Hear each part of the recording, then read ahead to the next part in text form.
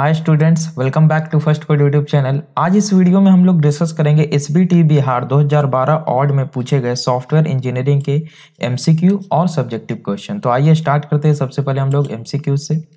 First question आपका पूछा गया है which model is called meta model meta model किसे कहा जाता है? तो हमने स्पायरल मॉडल में पढ़ा था कि इस स्पायरल मॉडल को मेटा मॉडल कहा जाता है। क्यों?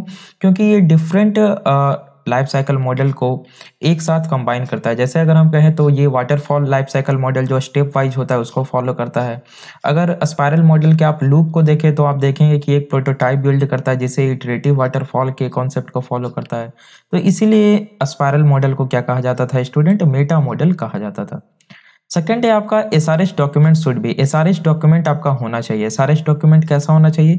कंसाइज बिल्कुल। एस आर एस डॉक्यूमेंट हमारा कंसाइज होना चाहिए क्लियर होना चाहिए। स्ट्रक्चर्ड यस हमारा S R S document software requirement specification document structured होना चाहिए। हमने एस आर एस डॉक्यूमेंट पे एक सेपरेट लेक्चर बनाया हुआ है ना सॉफ्टवेयर इंजीनियरिंग की। प्ले लिस्ट को आई होप आप सारे लोग देख लिए होंगे। कल आप लोगों की एग्ज़ाम है तो आप लोग अभी पी वाई क्यूज देखिए। जितने भी पी वाई क्यूज आपको सेवन एट ईयर के प्रोवाइड किए जाएँगे अभी, ठीक है? लगातार सारे वीडियोज़ अपलोड होंगे। अभी कौन कौन से हैं? दो हज़ार बारह, चौदह, सोलह, सत्रह और अट्ठारह उन्नीस और बीस। इतने सारे प्रीवियस ईयर क्वेश्चंस आपको प्रोवाइड किए जाएँगे वीडियो पीडीएफ देखिए, ये जो क्वेश्चन है ना, इसका पीडीएफ आपको डिस्क्रिप्शन में मिल जाएगा तो आप पीडीएफ चाहें तो डाउनलोड कर ले। ऐसे डिस्कस तो करवा ही दे रहे हैं। और जो हमने एमसीक्यूज आपको प्रोवाइड किया है, एक वीडियो में लगभग 100 से 120 एमसीक्यूज था। सॉफ्टवेयर इंजीनियरिंग का वो एकदम वीवी आई है। ठीक है? उसे आपको पढ़ के ही जाना है। और आप लोग तो प्लेलिस्ट देख ही लिए होंगे। आगे हम लोग देखते हैं third question maximum effort is applied in which phase पूछ रहा है मैक्सिमम एफर्ट जो अप्लाइड किया जाता है, वो किस फ़ेज़ में अप्लाइड किया जाता है? तो देखिए, हम लोगों ने पढ़ा था सॉफ्टवेयर डेवलपमेंट लाइफ साइकिल उसमें सारे फेजेज को हमने देखा था, सारे फेजेज का क्या वर्क होता है। इसमें फ़र्स्ट ऑप्शन दिया है design coding testing and maintenance तो देखिए, यहाँ पे दो ऑप्शन हो सकता है। डिज़ाइन भी हो सकता है मेंटेनेंस भी हो सकता है, लेकिन ये डिपेंड करता है।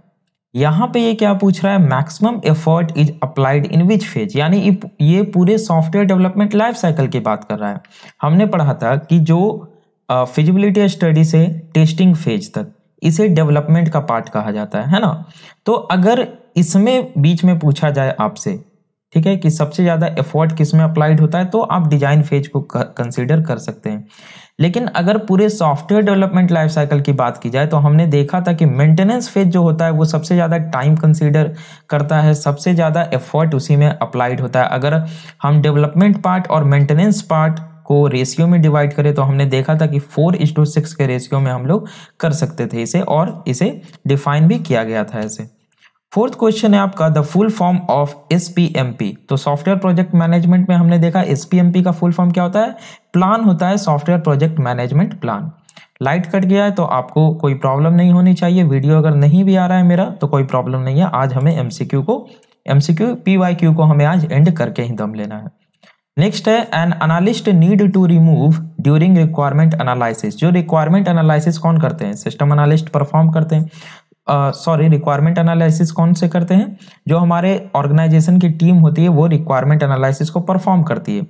तो एनालिस्ट उसके बाद उसमें क्या क्या चीज़ को रिमूव करते हैं? रिक्वायरमेंट एनालिसिस से जो भी रिक्वायरमेंट गैदर होकर आई है, अगर उसमें एनोमेली है किसी प्रकार की तो उसे रिमूव करते हैं। किसी प्रकार की इनकंसिस्टेंसी असमानता है तो उसे दूर करते हैं।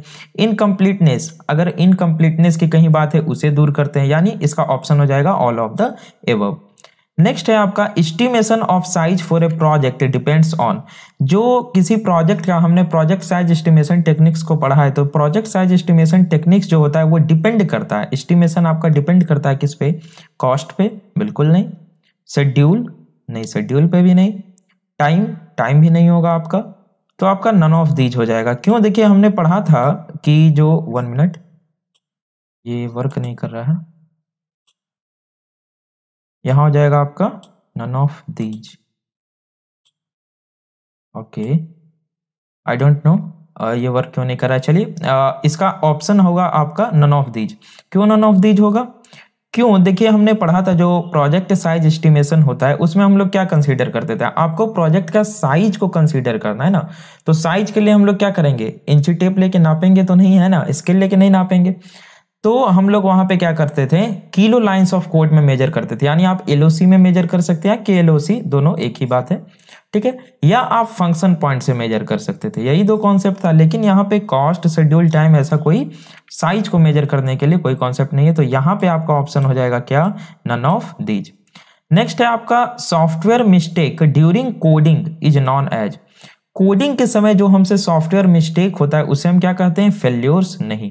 डिफेक्ट्स नहीं बग्स नहीं एरर्स जो हम लोग मिस्टेक करते हैं स्टूडेंट कोडिंग के समय, उसे क्या बोला जाता है? एरर्स बोला जाता है. बग्स क्या होता है? बग्स वो होता है जो किसी तरह का अनबिहेवियरियल हमें कॉन्सेप्ट मिलता है, हमें आउटपुट मिलता है, उसे हम लोग बग्स कहते हैं. यानी बग्स का मतलब है कि हमारा प्रोग्राम सक्सेसफुली एग्जीक्यूट हो रहा है. एग्जीक्यूशन टाइम कोई दिक्कत नहीं है, लेकिन हमें एक्सपेक्टेड आउटपुट नहीं मिल रहा है, उसे बग्स कहा जाता है। एरर्स कहा जाता है मिस्टेक को। जो हम टाइपिंग करते वक्त मिस्टेक करते हैं कोडिंग करते वक्त मिस्टेक करते हैं। डिफेक्ट सॉफ्टवेयर प्रोडक्ट में हमारा कुछ अगर डिफेक्ट होता है तो उसे डिफेक्ट कहा जाता है। फेल्योर्स अगर हमारा सॉफ्टवेयर कहीं पे फेल हो जाता है, कोई उसके सेट ऑफ़ डिफाइंड टास्क को परफॉर्म नहीं कर पाता है वो तो उसे फेल्योर कहा जाता है, ठीक है? तो ये चारों के अपने अपने डेफिनेशन है। चारों को आपको याद रखना है एमसीक्यू ये चारों पे पूछे जा सकते हैं, जैसे अभी एरर्स पे पूछा गया है। नेक्स्ट आपका है student static analysis tools of an use जो स्टैटिक एनालिसिस टूल होते हैं, वो किसका यूज़ करते हैं? कीवर्ड चार्ट नहीं. पर्ट चार्ट नहीं. गैंड चार्ट नहीं. तो यहाँ पे नन ऑफ़ दीज आपका हो जाएगा. स्टैटिक एनालिसिस टूल यहाँ पे नन ऑफ़ दीज होना चाहिए. ऐसे आप इसे एक बार गूगल कर लीजिए और जिन्हें इसका आंसर मिल जाए, वो कमेंट बॉक्स में कमेंट कर दे. मैं इसके आंसर को पिन कर दूँगा. ठीक है? नेक्स्ट है which among these is a debugging approach जो डिबगिंग का अप्रोच होता है, निम्नलिखित में से कौन सा है? Backtracking yes backtracking is a debugging approach brute force भी एक डिबगिंग अप्रोच है. प्रोग्राम स्लाइसिंग भी एक डिबगिंग अप्रोच है. तो यहाँ पे हो जाएगा आपका all of the above next है आपका टेस्ट स्यूट इज़ जो टेस्ट स्यूट डिफाइन किया जाता है, वो क्या होता है? वो होता है combination of test cases set of input set of output none of these नहीं. इसमें हो जाएगा टेस्ट केसेस नेक्स्ट आपका है क्या? Testing the software is basically, किसी सॉफ्टवेयर को टेस्ट करना क्या है? वेरिफिकेशन यस वैलिडेशन यस तो हो जाएगा बोथ ए एंड बी देखिए वेरिफिकेशन और वैलिडेशन दोनों अलग अलग बातें हैं। वेरिफिकेशन क्या होता है? हम वेरीफाई करते हैं। किसके अगेंस्ट सेट ऑफ़ रिक्वायरमेंट्स के अगेंस्ट हम इनपुट देते हैं और आउटपुट को चेक करते हैं, क्या हमारा सॉफ्टवेयर रिक्वायरमेंट के अनुसार जैसा हमारा एक्सपेक्टेड आउटपुट था, वो हमें प्रोवाइड कर रहा है कि नहीं कर रहा है, वो हुआ वेरिफिकेशन वैलिडेशन क्या हुआ? हम ये चेक करते हैं, क्या हमारा जो सॉफ्टवेयर है, हम जो उसे डेवलप कर रहे हैं, सही डेवलप कर रहे हैं? क्या हम ये जो सॉफ्टवेयर है, वो मार्केट में अप टू द मार्क होगा या नहीं होगा? इन सभी चीज़ों को कंसिडर करते हैं हम वैलिडेशन में, ठीक है? नेक्स्ट है which among these is a type of maintenance इनमें से कौन सा मेंटेनेंस का टाइप है? सॉफ्टवेयर मेंटेनेंस हमने एक सेपरेट uh, लेक्चर में डिस्कस किया हुआ उसमें हमने तीन types of maintenance three types of maintenance देखे थे। करेक्टिव परफेक्टिव एडेप्टिव ठीक है? तो यहाँ हो जाएगा आपका all of the above next है आपका इनमें से अच्छा नेक्स्ट है आपका the full form of D F D is D F D का फुल फॉर्म क्या होता है? डेटा फ्लो डायग्राम हम सारे को पता है। Next has the highest cohesion cohesion के हमने डिफरेंट टाइप्स पढ़े थे। कपलिंग और कोहेशन एक सेपरेट लेक्चर में उसमें हमने देखा था कि फंक्शनल कोहेशन क्या होता है? हाईएस्ट कोहेशन होता है। नेक्स्ट है आपका black box testing is also called black box testing को कहा जाता है। Functional testing may be structural testing नहीं both A and B none of this यहाँ पे फंक्शनल टेस्टिंग होगा। हमने टेस्टिंग उसके टाइप्स दो तीन लेक्चर में डिस्कस कर रखे उसमें हमने एक हैरारकी देखा था। उस हैरारकी को आपको याद रखना हमने देखा था ब्लैक बॉक्स टेस्टिंग के दो टाइप्स थे फंक्शनल टेस्टिंग और नॉन फंक्शनल टेस्टिंग यानी ब्लैक बॉक्स टेस्टिंग के कुछ पार्ट फंक्शनल टेस्टिंग है, इसलिए हम लोग फंक्शनल टेस्टिंग में टिक मारेंगे। नेक्स्ट है alpha testing is a type of बिल्कुल ये सिस्टम टेस्टिंग का टाइप है, हम सारे लोगों को पता है। नेक्स्ट है unit testing is done with the help of unit testing किया जाता है किसकी हेल्प से? Driver module stop module both hand भी none of these unit testing is done with the help of यहाँ पे ड्राइवर मॉड्यूल स्टॉप मॉड्यूल दोनों हो जाएगा। देखिए दोनों होता क्या है? आखिर ड्राइवर मॉड्यूल स्टॉप मॉड्यूल क्या होता है? ड्राइवर का यूज़ तब किया जाता है जब हमें क्या करना हो?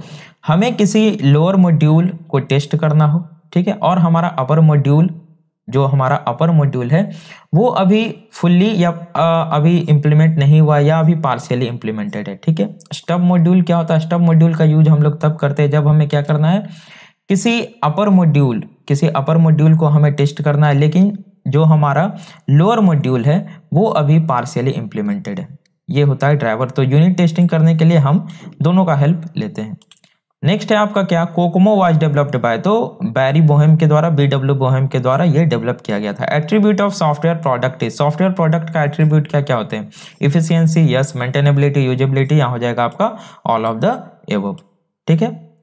नेक्स्ट है evolutionary model is called evolutionary model को इंक्रीमेंटल कहा जाता है. Yes decremental no minimal none of this यहाँ पे आपका ऑप्शन हो जाएगा इंक्रीमेंटल नेक्स्ट है क्या? इवोल्यूशनरी अच्छा ये यही है। नेक्स्ट आपका आ गया अब ग्रुप बी देखिए, ये ओल्ड क्वेश्चन है, ठीक है? अब आपका जो सिलेबस का पैटर्न है, इस तरीके पे आधारित नहीं, और आपके सिलेबस में कई सारे कॉन्सेप्ट भी चेंज हुए हैं, जो कि छट गए हैं। तो मे भी इसमें कुछ ऐसे क्वेश्चंस हो सकते हैं जो कि अब आपसे नहीं पूछे जाएँगे, क्योंकि इसका जो सिलेबस था 2016 के पहले वो अलग सिलेबस था। 2016 से सिलेबस चेंज हुआ है और फिर 2021 से भी सिलेबस चेंज हुआ है। तो आप लोग 2021 16 और 21 के बीच में हैं, ठीक है? तो आप लोगों को 2016 के बाद वाला सिलेबस फॉलो करना है। तो इसमें मे भी कुछ ऐसे क्वेश्चन हो सकते हैं जो कि आपके अभी सिलेबस में नहीं है और आपसे पूछे भी नहीं जाएँगे तो आपको घबराना नहीं है। आपका क्वेश्चन क्या है? डिफाइन सॉफ्टवेयर इंजीनियरिंग आप लोग डिफाइन कर सकते हैं और उसके एट्रीब्यूट्स को लिख सकते हैं, उसके करेक्टरिस्टिक्स को लिख सकते हैं। नेक्स्ट है which spiral model called meta model आप अच्छे तरीके से लिख सकते हैं, क्यों स्पायरल मॉडल को मेटा मॉडल कहा जाता है? आप बता सकते हैं कि स्पायरल मॉडल वाटरफॉल मॉडल के अप्रोच को फॉलो करता है। उसके जो लूप होते हैं, वो इटरेटिव को फॉलो करते हैं तो आप इस तरीके से इसे डिफाइन कर सकते हैं। नेक्स्ट है briefly explain requirement gathering and analysis हमने रिक्वायरमेंट गैदरिंग एनालिसिस पे एक सेपरेट लेक्चर बनाया था, लंबा लेक्चर था।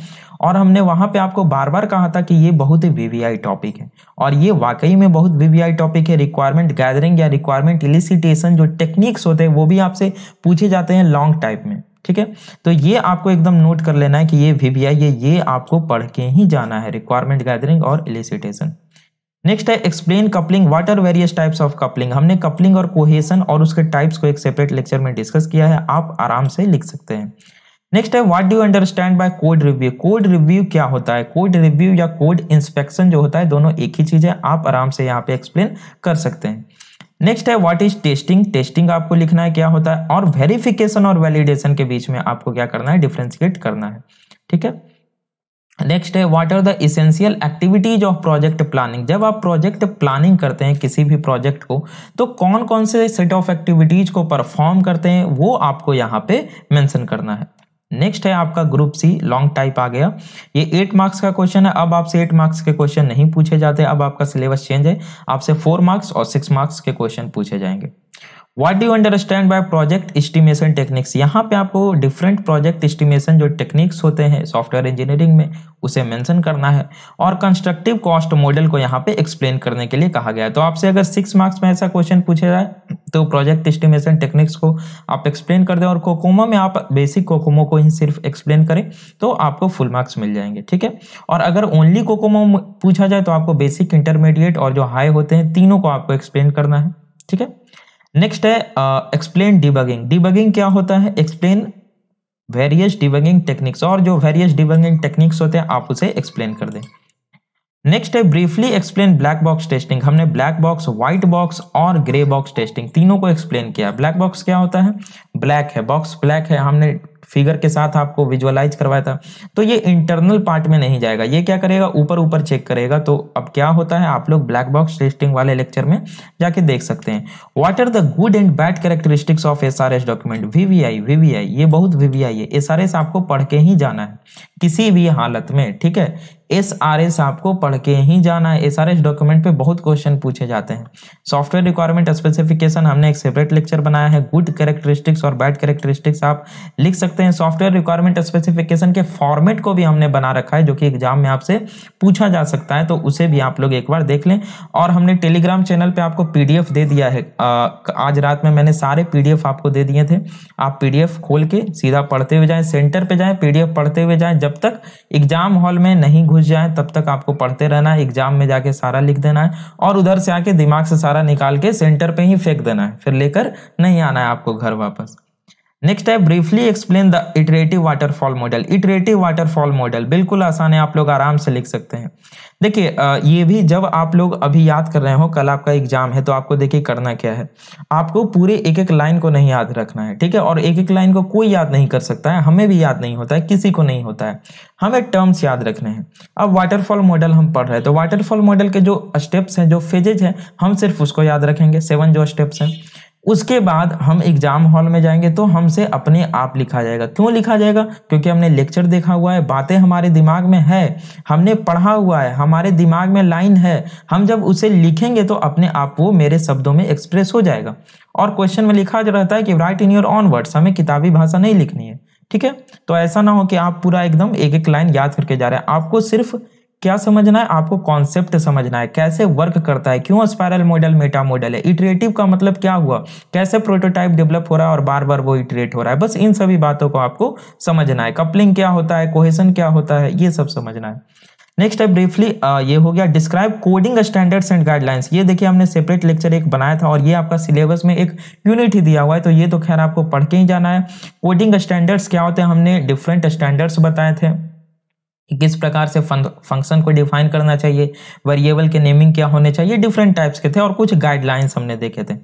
Write short notes on short notes इस पे लिखने डेटा डिक्शनरी जो होते हैं सॉफ्टवेयर इंजीनियरिंग में uh, उसके बारे में आपको लिखना यूनिट टेस्टिंग आप लोग लिख सकते हैं सिस्टम मेंटेनेंस यहाँ पे देखिए सॉफ्टवेयर मेंटेनेंस आपके सिलेबस में दिया हुआ है, लेकिन सिस्टम मेंटेनेंस कोई दिक्कत नहीं है। आपका एक सब्जेक्ट है सिस्टम मेंटेनेंस तो सिस्टम मेंटेनेंस के बारे में तो आप लिख ही सकते हैं। सिस्टम को मेंटेन करना, उसके डिफरेंट पार्ट्स को आप लोग एक्सप्लेन कर सकते हैं।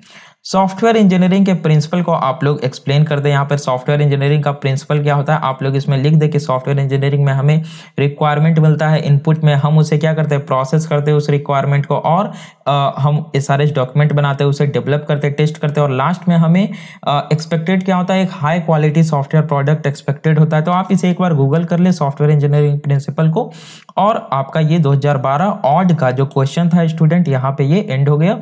और हमने देख लिया एमसीक्यू जो टोटल आए थे एमसीक्यू हमने बना लिए, हमने जो सब्जेक्टिव पार्ट आया था सब्जेक्टिव पार्ट को भी डिस्कस कर लिया। इसके बाद हम लोग नेक्स्ट वीडियो में डिस्कस करेंगे 2014 ऑड के जो क्वेश्चन पूछे गए थे सॉफ्टवेयर इंजीनियरिंग के, वो भी आपका ओल्ड सिलेबस का ही है, लेकिन हम लोग डिस्कस कर लेंगे, क्योंकि देखिए जो एमसीक्यू होता है, जो आपका मल्टीपल चॉइस क्वेश्चन होता है, वो इधर उधर ही घूमता रहता है, कोई नया क्रिएट नहीं करता है, ठीक है? तो चलिए मिलते हैं हम लोग अपने नेक्स्ट लेक्चर में। Thanks for watching